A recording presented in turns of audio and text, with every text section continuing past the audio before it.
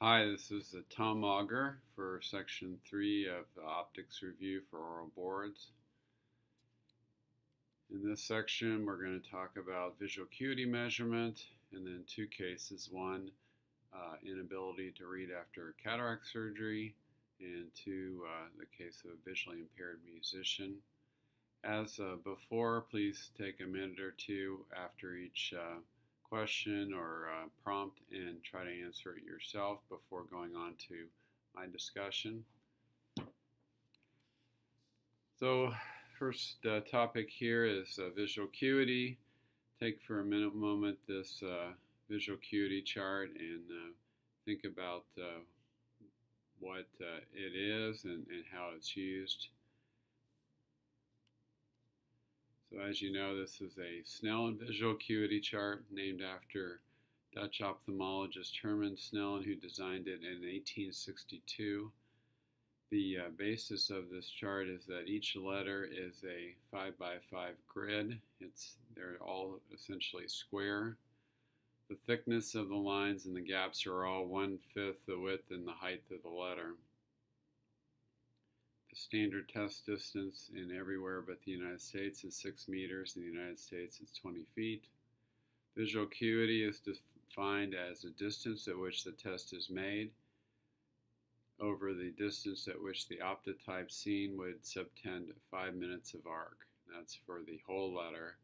Each uh, part of the uh, letter then would subtend 1 minute of arc. In 1959, Louise Sloan devised what's now called Sloan letters. These are letters that are all of similarly difficult uh, difficulty to read so that uh, it makes the charts more uniform. Those letters are C, D, H, K, N, O, R, S, V, Z. Note some letters such as G and Q are, are left out because those can be very difficult to read is thought to correspond to the more uniform Landolt C charts. It, uh, these letters are used in the modern Snellen chart and also in the uh, Logmar chart that we'll talk about in a moment. This is the Logmar chart. Those of you that are in academic institutions or that are involved in clinical research know this chart. It's a standard that is used for most research projects, and there's a good reason for that. Logmar stands for Logarithm of the Minimum Angle of Resolution, L-O-G-M-A-R. It was designed in 1976 by Ian Bailey and Jan Lovie-Kitchin at the National Vision Research Institute of Australia, and it's really been adopted for most large research projects. Sloan letters are used. There's a, a, uh, small number of letters on each line, five, and that's equal for each line. It's uh, real key is that the letter size and the spacing between letters and between lines is logarithmically determined. And uh, therefore, it's very useful for research. This is the comparison between visual acuity scales. On the left-hand side are the uh, Snellen scales in uh, feet and in meters, the decimal of the Snellen scale, and then the Logmar scale is on the far right. And you can see how they all compare 2020 on the um, Snellen uh, scale is zero with the Logmar scale, and uh, 2200 is 1, so most visual acuities are between 0 and 1 on the Logmar scale. Finally, uh, to finish off this uh, discussion on visual acuity is the Rosenbaum card that uh, most of us use. It's a um, not a substitute for standardized distance visual acuity measurement and that's because it's not well controlled. The lighting is not well controlled, it, and its uh, distance of use is not well controlled. It should be held at a uh, distance that's marked on the card, uh, in this case 14 inches, in order for the Snellen equivalence on the card to be um, reasonable. If it's held at seven inches, for example, which I've seen many patients do, if uh, left to their own accord, then a 2040 letter size is really 2080 for the patient. You also need to make sure that you correct the patient's vision for that distance. So if they're presbyopic, they need to look through their uh, reading correction. If uh, you have the patient already dilated and they're a young patient, you'll need to give them an add for that. The other types of visual measurements that uh, we'll talk about in the future are contrast sensitivity and uh, vernier acuity. These are uh, different uh, measurements and really give you different levels of information. Visual acuity that we're talked about here is really a high contrast acuity and uh, one in which uh, we uh, use it uh, to measure patients over time, but certainly doesn't approximate what their visual visual function is out in the real world. Our first case today is a patient that underwent cataract surgery in the left eye. Their preoperative refraction was minus 5.25 in the right eye and minus 6.00 in the left eye. Visual acuities were 2025 and 2060 respectively. Postoperative refraction was still the same in the right eye, minus 5.25, and in the left eye, the vision improved to 2020 and refraction improved to minus 0.50. Patient got glasses and complains that she cannot wear them. How would you evaluate and treat this patient? Take a minute and think about this. So obviously the patient has a, a significant amount of anisometropia. I like to group the symptoms of anisometropia into two, those that really are associated with the symptoms, the difference in image sizes, and those that are induced by the prismatic differences. And uh, those can be treated differently if you can sort them out. So the symptoms of aniseikonia are listed here. Headaches, imbalance, asthenopia, photophobia, reading difficulty, nausea, motility problems, nervousness, vertigo and dizziness, general fatigue, and distorted space perception. And they're sort of um, grouped in this order uh, of frequency with headaches and asthenopia near the top and distorted space perception at the bottom which isn't really intrinsically uh, obvious to, to me at least, because I would expect that distorted space perception would be number one. That's kind of the definition of aniseikonia is that you have tilting of the world. But the patient's perceptions are that they're just miserable with uh, headaches and, and eye problems that are not generally uh, so specific as tilting of the uh, space in front of them. So anyone that comes in with these symptoms, be alert about problems with their glasses. Induced prism, on the other hand, will cause more of the double vision problems that we see, especially when looking eccentrically, when reading or when looking off to the sides. They may be noticing problems when they're pulling out from their garage that they'll see double vision. Um, and uh, also using computer if they uh, tend not to uh, tilt their head uh, correctly when they're uh, reading through their bifocal. They may close one eye, they have headaches and nausea and blurred vision, and then uh, just general discomfort in moving their eyes.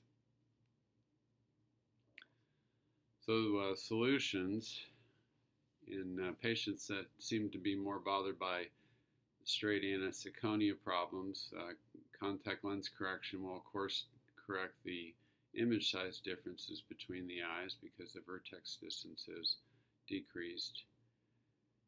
Uh, cataract surgery in the fellow eye, even though the visual acuity is 2025, is not unreasonable. I think uh, the uh, option of uh, IOL exchange or piggyback lens or refractive surgery is probably less likely to be successful than just surgery in the fellow eye. Base curve and lens thickness modifications in the glasses can help with the image size differences. And a specialist in this should be consulted if uh, that seems to be helpful.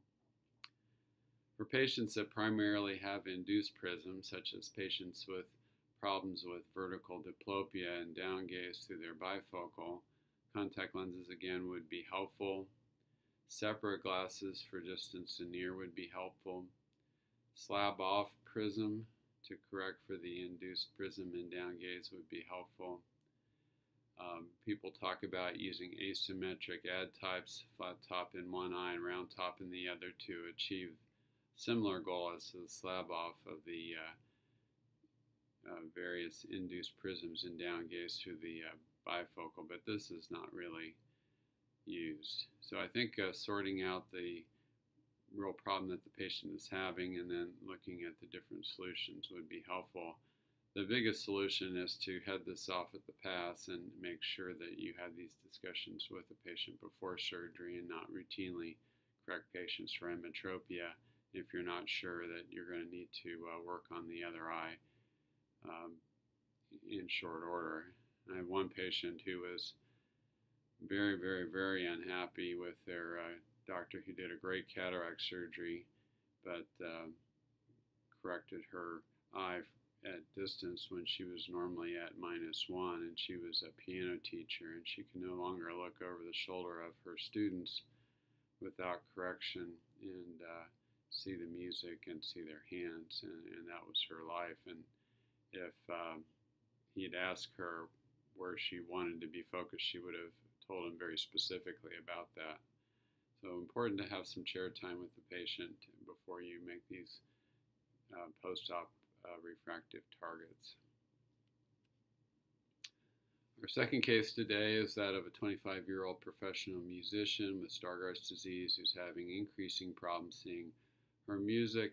The type on the music is 2050 and her vision is 2080. Discuss the possible options to help her. So take a moment, think about this. So this is sort of a setup for the Kestenbaum's rule. You want to see 2050 type, which is newsprint, and uh, visual acuity is 2080. So the Kestenbaum rule is reciprocal of the Snellen visual acuity in order to uh, read J5. So in this case, visual acuity is 2080, the reciprocal is 4, so consider a 4 diopter add. The working distance would be 25 centimeters. You have to remember that she's a 25 year old and she probably has plenty of amplitude of accommodation and she could easily hold things at 25 centimeters now without the need for an add and would have been doing this and operating successfully if that's what uh, she intended to do. Also note that Kestenbaum rule consistently underestimates the add strength needed to read newspaper print up to a factor of two. So if a four diopter add does not work for someone, you could certainly increase this. The patient will have to hold things that much closer. Now for this specific case, it's important to understand the occupational and vocational nature of what she does. She's a musician, that's a pretty broad category. It's like saying you're a physician um, you really need to know what she's doing. Is she you know, playing an organ or uh, some kind of string instrument? And what distance is her music at? And is it possible for her to hold the music at 25 centimeters? Or uh, is it really more likely that it's at 50 centimeters or even one meter away? Other options need to be considered. Something as simple as blowing up the uh, music, such as in this upper right hand corner, with a uh, Xerox could be helpful for many patients, and that's in fact what this patient has done. There are also video uh, options that can be helpful for patients with more prominent uh, visual reduction so that they can uh, continue to enjoy their music, whether it's professional or as a hobby.